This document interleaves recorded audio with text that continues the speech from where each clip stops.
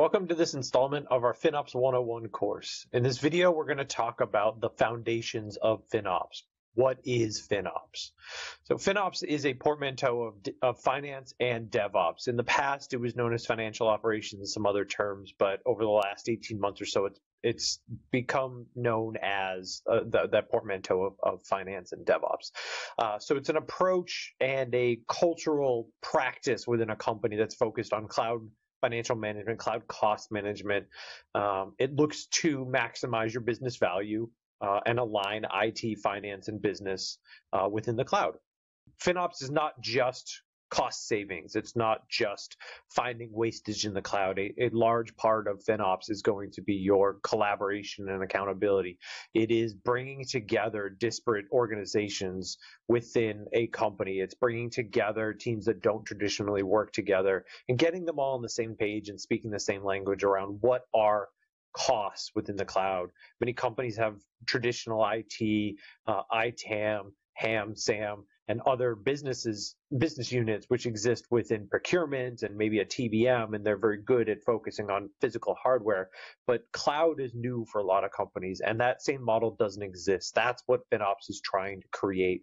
That's that's a big part of its function is is creating that accountability and visibility into cloud spend and allowing organizations to make informed business decisions based on uh, what they're doing in the cloud so FinOps as an organization is meant to help guide companies through their decision making uh, processes. And this is, is based on the value of cloud resources, cloud services, but that also has to encompass what's happening within a physical IT or a uh, a data center aspect as well. If you're a company that is in a data center, uh, FinOps just can't operate in, within a silo the same as procurement and ITAM can't operate within a silo when it comes to uh, making decisions based off what's happening in the cloud.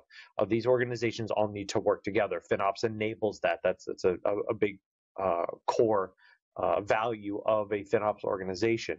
Now, similar as you would have with with ITAM and procurement, FinOps is beholden to a project management term called the Iron Triangle.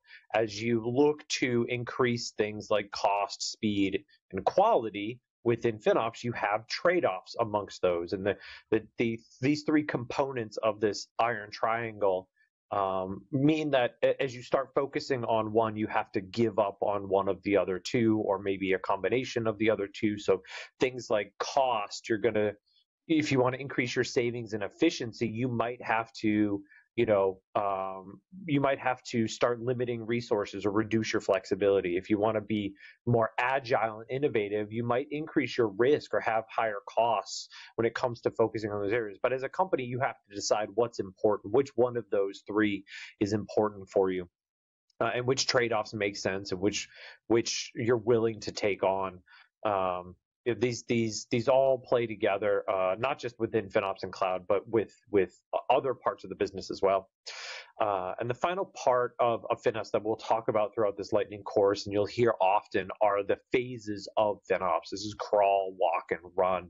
This is a common FinOps term, uh, and it's just the maturity in which an organization is not just for FinOps as a whole, but for different aspects of FinOps. A company might be in the crawl phase of let's say, uh, cost allocation and tagging and things like that, but they might actually be in the run phase when it comes to cost avoidance for things like RIs and savings plans and and and whatnot. They may be very good. Run run would mean they're very good at it. They're they're using um, you know they're making major business decisions based off of it. They have maybe automation in place. They have uh, a full process around it that is that is vetted and works. Whereas crawl is they're just starting to do that. Um, and it's okay to be in different phases within different areas of FinOps and different areas within the business. FinOps is modular. It's meant to accommodate all of that and, and, and help work through it. There are very few companies that are fully run across all of FinOps and all of cloud, but it is something that companies should strive for. Thank you for watching this video. If you have any questions, reach out to us at anglepoint.com.